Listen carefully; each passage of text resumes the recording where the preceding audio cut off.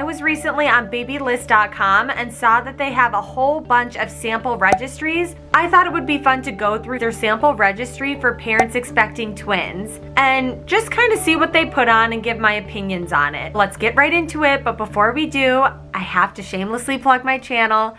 Please like and subscribe if you have not already. And if you are a current subscriber, thank you so much. I really do appreciate you guys. All right, let's get into the registry review. Twice as many babies doesn't have to mean twice the stuff. Our twin registry will get you on the right track. So the first item on their list is this Halo Twin Bassinet Swivel Sleeper Lux series. And holy crap, it is $450. I don't know if Babylist is assuming that all people that are giving birth to twins are really, really rich, but this would have been outside of my budget. I haven't personally used this item, so, you know, I can't speak in detail about it. It looks like it would be nice if you can afford it. I've heard great things about just the regular one baby halo bassinets. It would be really nice if you're recovering from a C section to not have to get out of bed to go get your twins you can just swivel the halo bassinet and just tend to whatever twin needs your help. But I will say $450 is a very large price tag. So if you can't afford that, no worries. There's plenty of other sleep options for newborns. Oh, and it looks like their number two option they have is more affordable. They have the Graco Pack and Play Play Yard with twin bassinets and it is $175. So much, much more affordable. Just like the last one, I didn't personally own this. I have heard really good things about this, and I do have multiple twin mom friends that used this during the newborn phase and loved it. If you're a little bit more budget conscious, this is a totally fine option. The only downside between this and this Halo sleeper is you would have to get up out of your bed to get whatever twin needs your help. I feel like the lower price point option is what I would go for, even if I had a lot more disposable income, just because the newborn phase lasts such a short period of time. And bassinets are really only going to be used for four to six months once your baby's able to like really move at all or start even just pulling up or sitting up a little bit, you don't want them in a bassinet because you don't want them to accidentally crawl out or slip out and get hurt. The next item they have is this Munchkin nursery projector and sound system. And their reasoning behind this is when trying to sleep train two babies, it is nice to have at least one sound machine to help the other baby sleep if the other one keeps waking up. Now, this is true. We have a sound machine in our twins' room. We've had it, we've actually had to go through a few because a few times the twins have broken them. a sound machine in general, even if you have one baby, is nice to drown out noise so that they sleep soundly and don't wake up. But especially when you have twins, the sound machine definitely will help whoever's still sleeping hopefully stay asleep through their siblings crying. Next item is this Skip Hop Silver Lining Activity Gym. This is a really cute activity gym. I have a different activity gym that I used for my newborns that was pretty large. It's in my twin registry must have video that you can check out after this. But this, this one looks really cool too. And it's true, you don't necessarily need two of these. Both of your newborns can kind of play in the same little play gym. But it is sometimes also nice to have options. Next is the Skip Hop Explore and More Activity Center. I can't tell if this one is a bouncer or if they just stand here, but yes, activity centers are going to be your best friend once your babies are able to support their head. So, just a little bit after the newborn stage when your babies are probably like four months plus, sometimes you have to pump or clean the kitchen or wash dishes or do some laundry. And you're going to need something like this or a jumper or bouncer of some sort to keep baby entertained and distracted so you can get some stuff done. Next is this, oh, this is a really good suggestion. This Babymoov Love Nest Infant Head Support Pillow. It's $20. Twins are often born a little bit early, and just for the fact that you can't always be holding two babies at the same time, the sad reality is with twins, they probably will be laying down a little bit more than if you had one baby, unless you have just help around the house all the time to always be holding babies.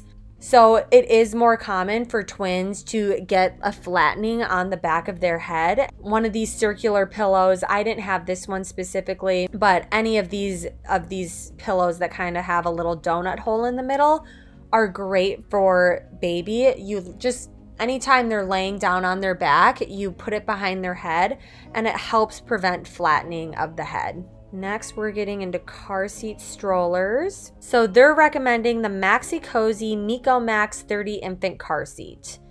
And the reason they're recommending this one is it has a lot of adapters, so you can click it into lots of different things. Strollers, not things. I guess their big reasoning behind this one is it's one of the lightest car seats there is. Yeah, that that is great to have light car seats. However, whoa, $242 for a single car seat? That's a lot of money for a single car seat, especially when you have to buy at minimum 2 since you're going to be having two babies that's a $500 investment in just car seats, which is a lot of money. So that's cool that they are recommending the lightest car seat option since you're to have to have two, but there are plenty of much cheaper car seat options since you're going to have to buy two. I personally use Graco 35 car seats and they can range anywhere between 100 to $150 sometimes you can get them for even cheaper because Target sometimes has, has really generous sales. There are other options if you're on more of a budget, but I guess the lightest, if you want the lightest of the lightest car seats, get the Maxi Cosi. And then for the first double stroller recommendation, they have the Baby Trend Universal Double Snap and Go stroller frame. And this really is a good stroller frame for the price it's only $61. That's so cheap, especially when you start looking at all the double strollers there is out there. This is probably one of the cheapest of the kind. But you do get what you pay for. It does have really, really tiny wheels. So if you live in a place that's not always going to have perfectly paved roads for you, or if you live in a place that it snows or freezes a lot, these little wheels are not going to go through ice, snow, gravel, grass. It's really only going to go through nicely paved sidewalks. If you live in Southern California, this could be a great option. But if you live where there are some real elements, you're going to want something heavier duty. I actually do have this Baby Jogger City Select with the second seat configuration. And yes, it is very expensive. Um, I actually have a review on this. I'll link it down below.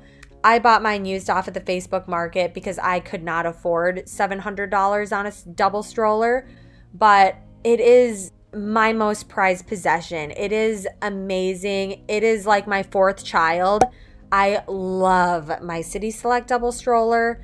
It has the huge wheels so it can get through all types of terrain you can operate it with one hand, which for me is really important because I text a lot. And I mean, to me, it it's totally worth at least buying used because you can get some pretty good prices when you buy it used off Facebook Market or Nextdoor app. Next is this lightweight side by side stroller from Chicco. It's the Chicco Echo Twin stroller. I haven't personally used this one, but it is nice to have a lightweight second stroller option because sometimes if you're just, you know, you want to quick get in and out of Target just for one little thing, or you're planning on just walking around the mall and you don't need your big baby jogger double stroller, it is nice to just have a lightweight twin stroller that you can pop open and close super easily and just get around kind of tighter spaces. The next item is the Buggy Bench. This product was designed by mother twins to make shopping with two young kids easier. It creates a second seat in your grocery store cart. Personally, wouldn't use this Buggy Bench because I would need space in my cart to actually put the groceries. So having a whole child taking up space would get in the way. If I have to go into the grocery store with my twins, I use my Baby Jogger City Select double stroller because I can operate it with one hand super easily. I can put lots of snacks in the little snack trays to keep my twins happy.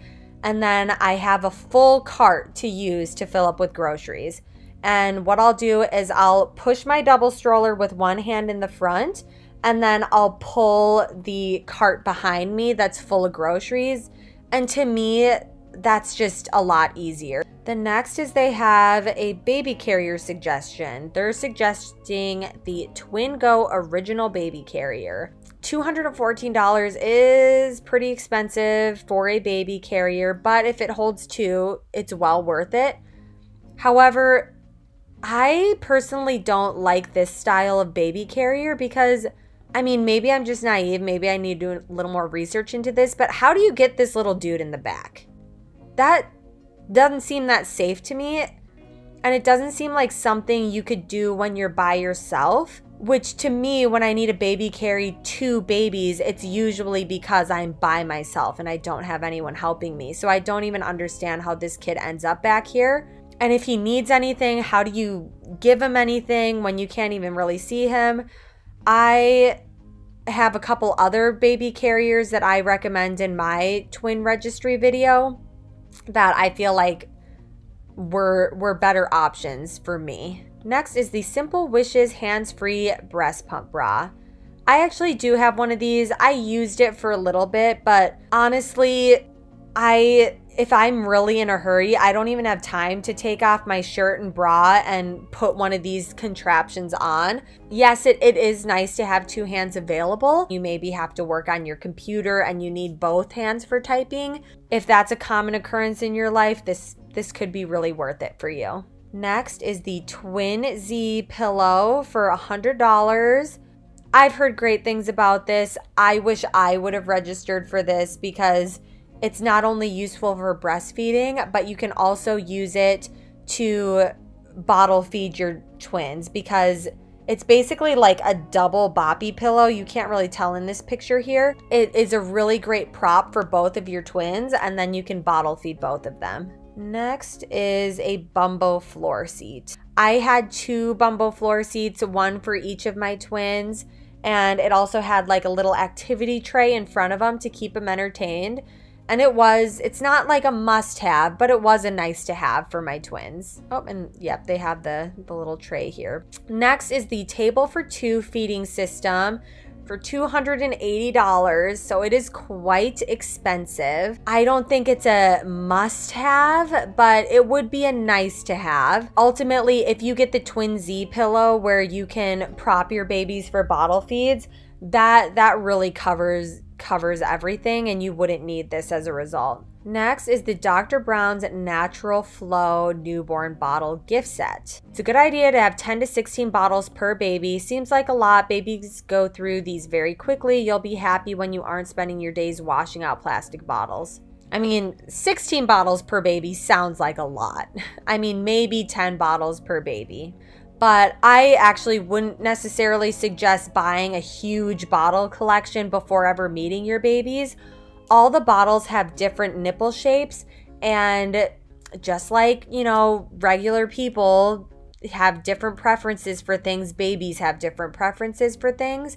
And some babies that are really picky, like my twins were, they reject a lot of the different nipples on different bottles. We tried Avent, we tried NUK, we tried I feel like so many different bottles and ultimately we did end up with Dr. Brown's, so I really like Dr. Brown's, but not all babies may like it. So don't make the mistake I made and buy a huge bottle collection and then just find out that your twins will not take those types of bottles. This is cool. I wish I had tried this. Um, I never did for my twins. I had never seen this until my twins were beyond their bottle phase, but I've seen pictures of this in use and it is genius for before your babies can hold their bottles. So, one of the biggest struggles if you're still expecting twins is if both of your babies are hungry for their bottle at the same time. It's not always super easy to hold up both of the bottles if you have other things to do, or sometimes like your baby won't just lay and take the bottle. If they have a little bit of reflux, they may wiggle around a little bit more. And the cool thing about these bottles is the bottle can basically rest near the baby and then the nipple goes into their mouth and you don't have to hold prop the bottle slash they don't have to hold the bottle themselves if they're not old enough to do it and they can still be fed this is genius whoever invented this like deserves to be a billionaire but I guess I haven't tried it, so I don't want to pump it up too much, but I've heard really good things about it from moms who have used it. Next is receiving blankets slash burp cloths. No comment on that. I mean, it's fine. These Medela Quick Clean Micro Steam Bags. Every bit of time saved with twins helps. Steam cleaning nipples and bottle parts in just a few minutes. I actually like don't know anything about this. I've never heard of this before. So I guess it just steam cleans and sterilizes the smaller parts of your bottle. I mean, I guess I guess that's cool. I've I've never even heard of that before. Next are the bathtub options. So first is this blooming bath bathtub for baby. This this is pretty cool. I never personally owned this, but it's like this little soft flower bath that you can stick into your sink. The other option for a tub is something more like this. I used one similar to this and your baby is able to just lay down and you fill it with water and give them a bath. Next, we're getting into nursery decor. So the first thing they have is this baby relax double rocker. I actually did buy this. I was sold on it being super wide, so it's perfect for having twins. And it's not perfect for twins, one baby, 10 babies. Like, it is not a good product. It isn't a glider. It's like, it is a truly rocker. Like, these are wood rockers right here on the bottom. I have carpeting in my room. On the carpeting, like, it didn't rock. It was this huge chair that I had to put so much muscle in to rock it. And it, it just didn't really rock. It was basically just like a giant hard chair. I actually went to Buy Buy Baby and just bought a regular old glider, and that works perfectly fine. In fact, better than this one. Please, please don't buy this. I guess if there's one thing that you take away from this baby registry review is do not buy this. Next is just a crib suggestion. I, I personally don't really like traditional cribs like this because I always had issues with my little boy's legs getting stuck in the slats or they'd run into the rails because the rails are not soft and it would startle them and wake them up. With my current singleton, he actually just sleeps in a pack and play because the pack and play has nice soft sides. So if he runs into the side, it doesn't wake him up. It's not noisy if he runs into the sides. It's all mesh around the whole thing. So no little legs are going to get trapped or stuck anywhere. And I mean, a pack and play is a travel crib. It is a crib. It's just not, it's just a nice soft crib, not a hard, cold crib. Next, they have some book suggestions. I bought a lot of twin parenting books, and there's only so much you can do to prepare for twins, let alone one baby you kind of learn as you go when you're a parent. Last two items are just milestone cards for the twins for, you know, your cute Instagram photos. Overall, I think Babylist did a pretty good job with this twin baby gear registry. It by no means covers everything you would possibly need for your baby registry. I mean, Obviously, it's geared towards like twin specific things, but you would still need diapers, baby monitors, swaddles, clothes. Like, there's a lot of stuff that isn't covered on this list that you would still need to look into.